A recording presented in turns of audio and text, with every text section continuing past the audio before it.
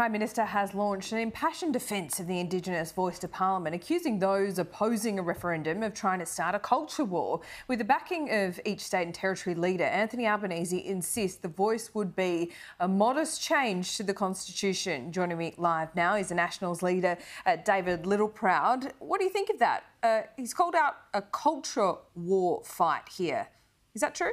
Well, no, there's not. While the Prime Minister's working in ideology, we're working in practical reality. The practical reality of places like Alice Springs, Carnarvon in Western Australia, uh, Wilcannia, New South Wales, uh, the, where there are real issues, uh, where you need a practical response, not another, another layer of bureaucracy. And the Prime Minister should create an environment whereby those that have a differing view to him that come to this debate with genuine intent, as the Nationals do, and as he does. And we respect the fact that the Prime Minister comes to this debate with genuine intent to try and close the gap. But what we're saying is this is the wrong vehicle. It's another layer of bureaucracy. In fact, you look at Alice Springs and the, and the challenges that are there.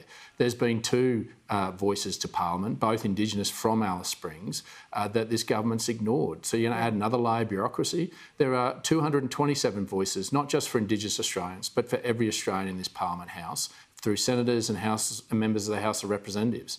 Uh, they are, are, the ones that give that voice, and there are plenty of consultative groups, over a thousand consultative groups of Indigenous groups. So you're going to add another one to do what?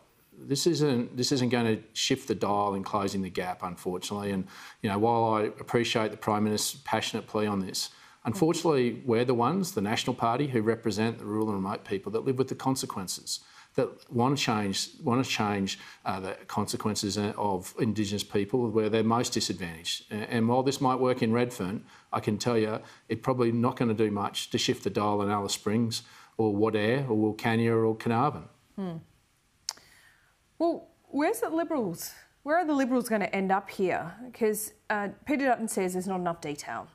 Um, do you support that party having a conscience vote? I know you're not the leader of the Libs, you're the leader of the Nationals, yeah. but would that be a fair and reasonable path to go down? Yeah, I'm careful to give advice to another political mm. party because uh, it, traditionally, if anyone's given the National Party advice, we've yeah. them we've told them to take a running jump. Yes, you have. Uh, so look, this is. Uh, so I get uh, Peter and the Liberal Party want more uh, information. The Prime Minister has made it clear from the start that there'll be a representative body, uh, a representative body that we've once had before, and that's why we're going through lived experience as the mm. Nationals, and that's why we don't support it. We're going back, we're repeating history yeah. rather than uh, having an ambitious goal. And within all of this, where actually is the goal to say we've closed the gap by a set date? Where is the, the goal to say that we don't need an Indigenous voice to Parliament because all the voices of Parliament will be equal? I mean, where do we, when are we going to say that we've closed that gap? Uh, putting into perpetuity uh, failure. We should be saying that we should close that gap by a set date. This is the programs. There needs to be mutual responsibility in achieving that. And I get Peter wants more information, and that's yeah. up to them, and that's the sovereignty of the Liberal Party. But the National Party's made their decision. We want to stand firm by that. There's no malice, there's no malicious intent in what we're mm. doing. We're just the ones that live with the consequences. And I hope the Liberal Party, no matter where they get to, will respect, as I respect the Prime Minister's position on this as well. Did, did you consider giving your party a conscience vote? Why didn't you go down that path? Well, effectively, you get one in the National Party. That's the culture of the National Party. Um, we're a little bit different to, well, to the rest G of the political parties. There. No, well, Andrew Gee, as I've said before, was that's why his decision was just bizarre.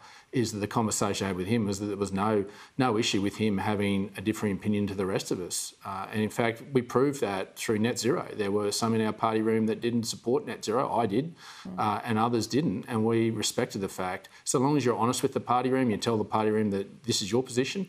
The culture of our party is that you can have a differing view and you can go out and prosecute that so long as you show the respect of the party room, which Andrew did. I've got to say, um, that's no, nothing's changed in the Nats, and that's something we celebrate and are fierce custodians of because that brings better decision making processes, better diversity, and bigger diversity to our party room and to our democracy. Okay, today you're calling on another issue for Labor to rule out scrapping the fuel tax credit scheme. Why? Yeah, look, this is a, a, rebate given back to those that don't use the roads. Obviously, there's excise put on on your fuel to cover roads to be built and to be maintained. Farmers and miners uh, are now jumping up and down. They're concerned. They've obviously got intel that the government is looking to wind this back, and particularly when you see think tanks like the Grattan Institute giving the government ammunition to say, let's scrap this. Uh, let me tell you that if you do, you take away the diesel fuel rebate to farmers in particular, you're going to pay a lot more at the checkout. You already are, and it won't be natural disasters pushing up the price. It'll be labour-made disaster, uh, and we're already seeing that because they don't have the labour they need. But if mm. you start adding this uh, this onto it, farmers are going to have to pass that on, and you're going to get a tax on this anyway. The safeguard mechanism is going to tax. Uh, the the last two oil refiners in this country anyway. So it's coming. You're just going to add another layer and another cost to the Australian to the Australian farmer that they they will have to pass on. Okay, uh, David Littleproud, big week there for you in Parliament. Back for 2023. Enjoy it. We'll speak soon as always.